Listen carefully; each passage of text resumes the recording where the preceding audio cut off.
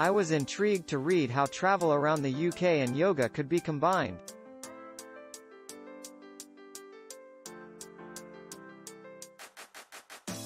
What I found was a fascinating book that on the one hand opens up the broad experience that yoga has become and, on the other, a perceptive social picture of ordinary special people enriching their lives.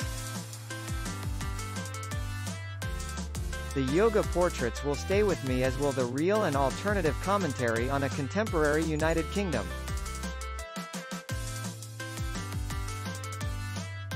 A yoga journey round Britain taking in, amongst other things, prisons, dogs and paddleboarding. Funny, quirky and inspirational. If you enjoy yoga you will love this book. Journeying around the UK with Elizabeth I enjoyed encountering new insights about how yoga works within our communities at large. So many messages beautifully written, in a humorous and witty yet also kind fashion are cleverly woven into each unique experience. Creative and inspiring it's a great read and perfect gift for any yogi, yogini in your life.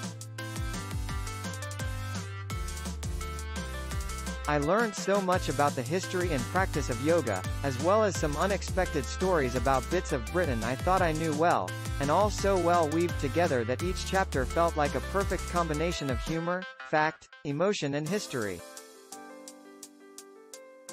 It has made me much more conscious of my yoga practice, turning what for me is a solitary exercise in my front room into something that feels like kinship with the different communities all over the country contained within the book.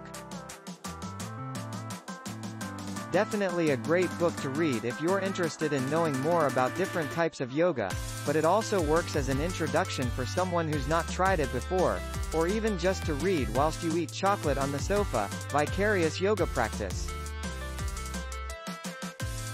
While yoga is the thread that runs through this travelogue, the deeper subject matter is the people, those who seek out yoga and those whom yoga seeks out.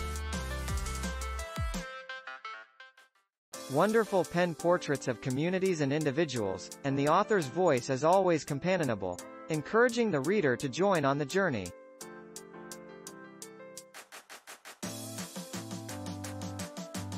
Elizabeth clearly loves meeting new people and this book allows us to share the joy.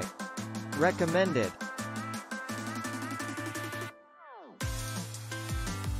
Click link in description for more reviews.